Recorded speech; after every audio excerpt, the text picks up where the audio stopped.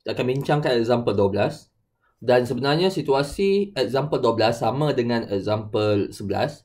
Cumanya kali ini dalam example 12 kita tambah satu force yang ini friction.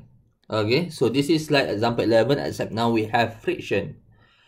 Uh, the external force is still the same, 40 Newton.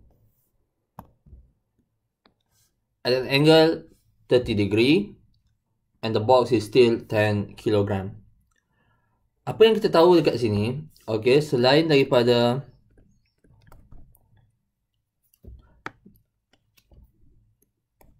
mass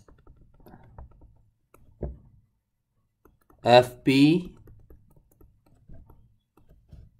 and theta 30 degree.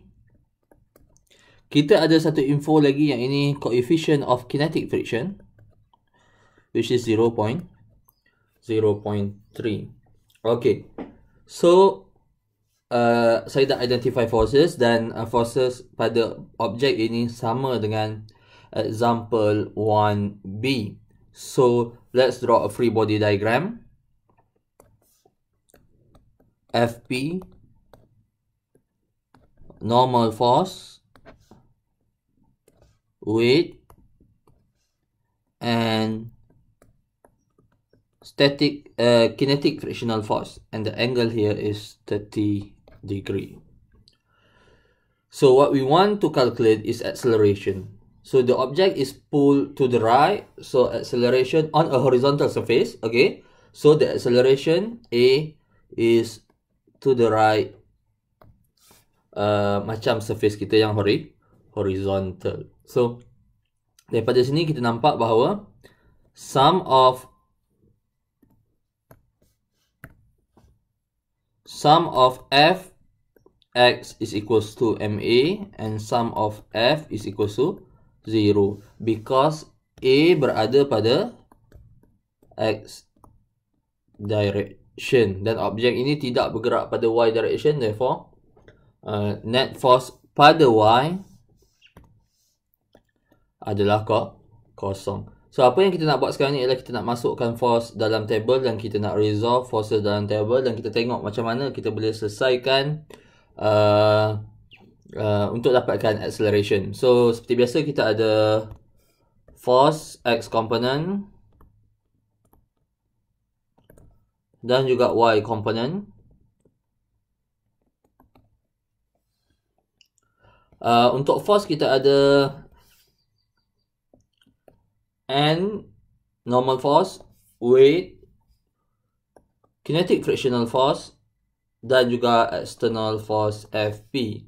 Now we already know that the object is accelerating in x component so sum of fx is equal to ma and the object does not move in y component so sum of fy is equal to 0 so let's look at normal force. Normal force is on the y component so ny is equals to n positive n but nx is 0 manakala weight pula berada pada y component downwards so wy is equals to negative w but Wx is equal to 0.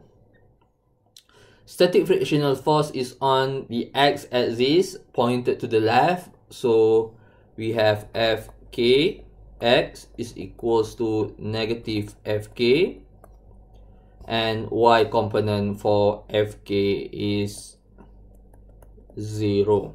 Now, we know the equation for static frictional force, uh, kinetic frictional force is negative mu k times n. The negative sign indicates that the static frictional force is pointed to the left. And for the external force, we can resolve it into x and y component. Okay, so kalau kita tengok di sini, fpx is adjacent, so adjacent we use theta, uh, cos theta. So fpx is equals to fp cos theta. And in a, in a positive direction to the right manakala fpy is equals to fp sine theta because fpy is opposite to angle theta. Fpy this is angle theta it is opposite. And fpy is upward so positive. So look at our table and how we are, are we going to find uh, acceleration So, kita nampak acceleration berada pada X component dan kita tengok dalam kita punya table apakah value yang kita tahu, apa value yang kita tidak tahu. Now, FP is a non-value. Okay, so tak perlulah saya warnakan. So, FP is a non-value, kita tahu. Angle theta is a non-value. Mu K is a non-value. But if you look at this, N is unknown value. Okay, so yang ini tak ada bagi efek pun sebab value dia kok kosong. So di sini ada dua unknown. So bila ada dua unknowns, naturally kita perlukan dua equations. Uh, dan kita kena tengok lah daripada y com y component weight sama dengan mg. Okay, so kedua-duanya non value. FP kita tahu, theta kita tahu, Ha, jadi yang kita tak tahu pada Y adalah N sahaja. So maksudnya kita kena cari dulu value N pada Y component dan kita kena masukkan pada pada equation X component. Mari kita lukiskan Y component terlebih dahulu.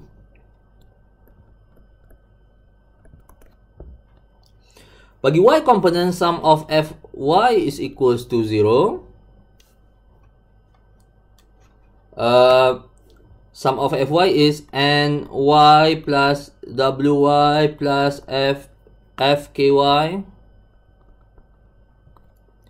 plus fpy is equals to 0. Now remember that fky is 0 pada x component. So we only left with n minus mg because negative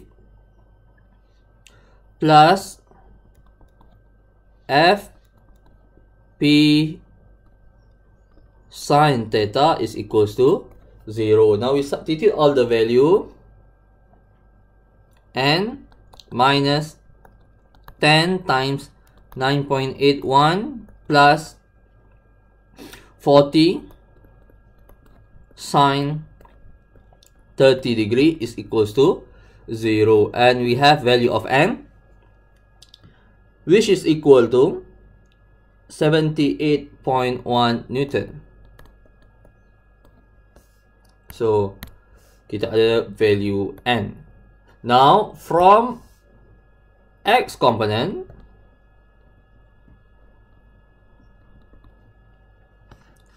we have Fkx plus Fpx is equals to MA. Okay, why? Because sum of fx is equals to ma nx and wx is 0 so saya boleh ignore lah kat situ.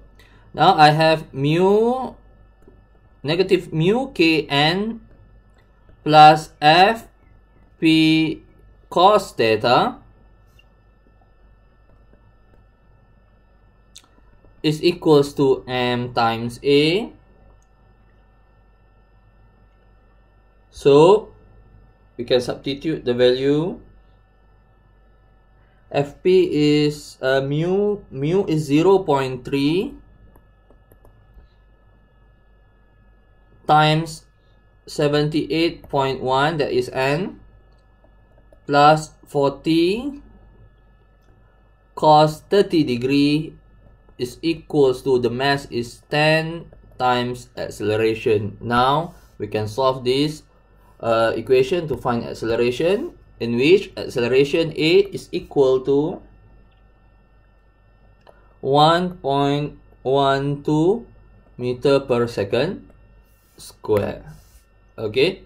So soalan ni logik sebab uh, sebelum ni dalam example 12 kita tak ada friction. Uh, example 11 kita tak ada friction.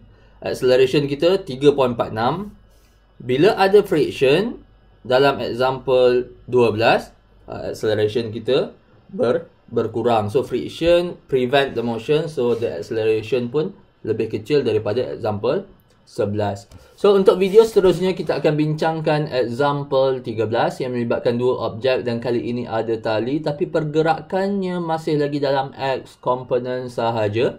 So terima kasih kerana uh, menyalin dan menonton. Okay. Assalamualaikum.